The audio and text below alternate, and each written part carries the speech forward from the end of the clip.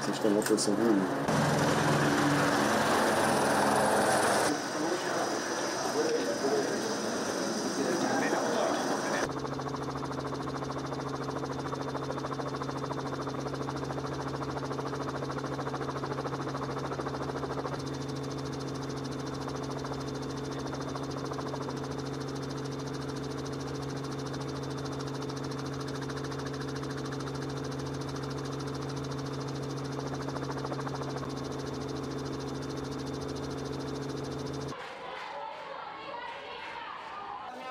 Polícia, não dá pra uma agora nós falar o que aconteceu mesmo.